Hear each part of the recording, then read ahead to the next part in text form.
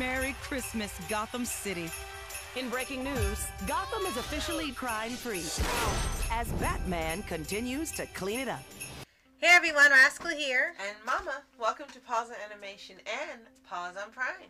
Haven't done this in a while. Now we have it. And today we're covering one of the new anime movies to hit Amazon Prime, Merry Little Batman. Barely an inconvenience. Right?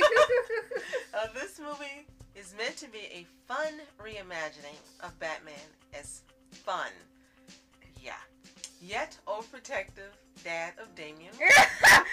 now Bruce wants to spend Christmas with his son, but when he ends up going on an emergency mission, of course, Damian's left home alone. yeah. Hint, hint, to defend his house and eventually Gotham from crime, slowly making a comeback. Yeah, that's a mouthful, and that's a big call for a movie that is only 92 minutes. Yeah. And before we start with that, be sure to like, subscribe, click the notification buttons on future podcasts and World Applause videos. Absolutely. Now, Rascal found out about this for us, and when I saw the trailer, I was kind of like, hmm. and she said, "Do you want to see it?" I'm like, "Why not?" yeah, it's free. We're with Prime, so hey, it was exclusive and free. And on top of that, it had Luke Wilson, so I was Mhm. happy to see that he was voicing a character. And there are also some other uh, voice actors we all know: Frantetta Scori, Roger Craig Smith, Courtney Taylor. And I was really surprised to see Natalie Palamides. Palamides, I'm sorry. Yeah. Doing a voice in here. And there are some others we're really not familiar with. David Hornsby, Therese McLaughlin, Brian George, Natalie Field, I'm sorry, Michael Fielding, and more. Right. So, yes, we actually ended up watching this pretty recently because it came out earlier this month. Yesterday. Well, might as well be at this point. And we didn't know what to expect. We just knew this wasn't going to be any of the Batman we knew from different shows and movies and iterations. This one is kind of takes the route of those DC graphic novels in the way of making their own take and their own universe of Batman without changing so much of it where you don't recognize the character. And in case you're interested in knowing, yes, this is literally a pilot for a new TV series titled Bat Family that is Huh. now being developed. Right. So I guess they really did expect this to be a hit, so they went ahead and greenlit a TV show, which I guess is gonna be on Prime as well. And people were kind of on the fence. Some looked forward to it to see Batman not be brooding and dark, and for some who did not care for Damian how he was originally instead of Batman, they liked that he was just a little crazy little kid that got into trouble and he acted like a real boy and not an assassin. So the ones who wanted watered down Damian were pleased with this. We weren't sure, but we gave it a chance. And it was an okay movie. It's not like our favorite movie of the year for the holidays or anything. I really wouldn't say that, but it was a decent film. It looks like there was a lot of effort put into it at least when it looked like it didn't in the trailer. True. And when you see the animation and you watch the movie yourself and you go, hmm, this reminds me of something. Well, the two writers are one, regular show writer Mike Roth, and Oh. two, Teen Titans Go writer Morgan Evans. Oh my gosh, that explains quite a bit. Because the movie ends up having this sort of mishmash. It wants to be family friendly, wants to be a little bit of superhero, it wants to be an homage to Christmas movies, homage to some old Batman stuff. It wants to have surrealism, wants to have heartfelt, wants to have some of everything pretty much. Mm-hmm. So I guess the surrealism comes from regular show because of the lengths it goes to towards the end of the film, and then stuff that seems kind of like potty humor and things like that with plot holes comes from Teen Titans Go, I guess. Yeah. now, what's really interesting is that in August of last year, HBO gave up the rights to this film along with six other projects, including Batman Cape Crusader. And this film is supposed to continue being developed. Well, it's out now, but the others are going to be developed as well for Amazon Prime Video. Mhm. They acquired the rights to it all and distributed this film as well as the others. So that's kind of interesting that they found a home for these, Mhm. but not a home for Batgirl and the other Batman movie and Scoob. Why and, did you not just give everything to Amazon Prime and make everyone happy? Exactly. So they've done this before, Mm-hmm. and other people picked it up and got to see it, but for some reason those films they refused to release. Go figure. So for here, you have to get sort of adjusted to Batman being a good old dad. And for this universe, he succeeds in his mission of cleaning up Gotham.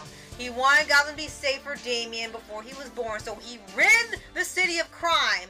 And it happened. Crime was gone, the villains were gone, Gotham was safe, so he could raise Damian there. But then it's not exactly true because they show this utopia different shots, if you say on the news. Yeah. But then almost to at the end of the movie, here comes Joker, here comes Poison Ivy, here comes Penguin, Yeah. here comes Mr. Freeze, here comes Bane. Here Yeah. comes all these villains. So if it's cleaned up in this utopia, why are these villains still here? Yeah. And they're free, and they're not in jail. Yeah, and I kind of wondered about that too. It seemed like it was a bit of a plot hole. Right. They're implying that they retired from crime, uh, from from crime, pretty much altogether after Batman did that. But they never really went into detail. What did Batman do so much that it made Go- uh, Gotham almost permanently crime free? The only thing that was off to me was that it had been eight years since he did that. Right before Damian was born. Eight years later, these villains are only still active low key, but they're also like they look like they've aged 80 years. It's only been eight years, and it looks like it's been way more than that. They're they're really wrinkly. They're really white haired. They're some of them are a little exaggeratedly grotesque, and it's like it hasn't been that long. and that was like one of the off-putting things about the designs. I kind of like that they wanted to make it look like this is like a really old storybook come to life, like you're reading like a Roald Dahl book or something that has little odd features, and they've animated those features. And they also took a key from Turtles Mutant Mayhem, where Yeah. they said they wanted to look like a child Yeah. drew it. Well, they said the same thing that they wanted to look and illustrative and sketch like to reflect Damian's mindset. Well, they succeeded. Yeah, and what's funny is I had mentioned something like this when they showed how the characters were drawn, and they had to Alfred, not a villain, of course, but he was so far off looking from what Alfred looks like. He looked like a caricature. He's now we very, very, very, very, very, very old. right, He has a hump like Igor. We're not sure why. right, And he's senile. right. He's still friendly. He's still the caretaker. Mhm. But they made him where there's no way he's going to be a hero.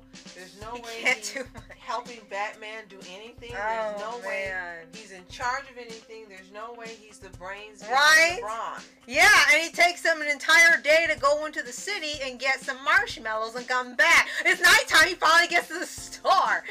And so with that knowledge is correct, I guess in the mind of a child, he's an old man, but instead of looking just older, he looks like he's in his hundreds. Yeah. So all of the Gotham villains is, have taken that route too.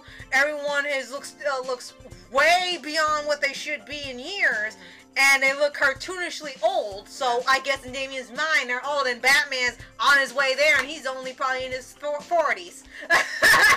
Yeah, that's what it looks like. so I'll say, as far as the voice cast, everyone worked. yeah, surprisingly, the voice yeah. cast was stellar. I can't say anything about the voicing. Everyone worked. Yeah, Luke surprising. Wilson was perfect for this, know, friendly, let's go play catch type of Batman. Yeah. His voice is perfect, and if you watch the CW, you know he played a similar type character in Star Star Girl. I keep on Star Child. I've done it so much. Star Girl, and he played a similar type character. But he works for here, and the one who voices Damian, we're not familiar with him, but he sounded great. Yeah. And so did the one playing Alfred. So uh, did the one voicing Joker. Mhm. And you could tell that uh, David Hornsby was kind of doing a mixture Of of different characters. Jokers. Yeah. Although they said for the character themselves, they wanted to reference uh, uh, performance of Bob Fosse from The Little Prince. Huh. And we haven't seen that movie. Right. I know that's a Netflix film. And it says that he's the perfect foe to a little kid because he's basically like a big peevish child himself, coaxing, cunning, and apt to rapid and irrational tantrums. Mhm. But I really didn't see tantrums in here. We've mm. seen tantrums for Joker in other movies, but he really didn't have any tantrums No, he kind of teased Damian about Right. the belt, which is the whole reason the, the plot kicks off. He's supposed to be at home with Alfred, and he makes up an excuse for Alfred to leave the house. He left by himself. These robbers come in Home Alone style. He gets rid of them, and they take his belt that Batman gave him as a present. And the whole movie kick starts with that, with the plot with him going to Gotham and finding the people that took the belt. And Joker ends up getting involved with this. And this is unfortunately where you see a lot of the plot holes. It's a well intended movie. Mhm. There is no spike for Batman here, thank goodness, nor holiday films or Damian or anything like that. And it's a safe watch for any age. Right. It's just when it gets towards like halfway through the movie, you start seeing some things that don't really follow. And the fact that this entire thing is going off for a belt, it started to seem like it was a stretch. It would have been better instead of 92 minutes, it had been 45 minutes to an hour. Because at the 45 minute mark, you're expecting it to be over. Yeah. And then you get to an hour and you're like, this movie's still going on. It just seems superfluous and unnecessary. I think it could have been locked up in an hour max. And I think it would have been enjoyable Probably, yeah. movie. There's a lot of things that happen in here that weren't necessary for the progression of the story. That's true. And I think it being shorter would have really, really helped it even more. Right. And especially when it gets to him being in Gotham and the regular show writer kicks in and it, almost all Gotham burns down because of one accident. So now we know why it escalated that far. And he gets blamed for everything like it's Trigun.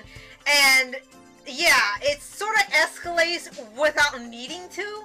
What I thought was gonna be is that they kind of he kind of saves Gotham and has all these adventures without anybody else really knowing. But it ends up going to a regular show, and like I said, Gotham's nearly set on fire. The presidents, everything are ruined. The villains are running free. They try to induct Damian to being a villain like them because he ruined just about everything. And it does have a happy ending, but it seemed like they were really trying to find conflicts to make the movie keep going. Like they didn't want to stop and they want to put everything in. They didn't want to cut anything. So it seemed like this is one of the few times they should have left some things out mm-hmm. and try to wrap it up sooner because especially you got little kids watching. Right. This might make them start tuning out if it's not engaging enough for them and it's going on too long. True.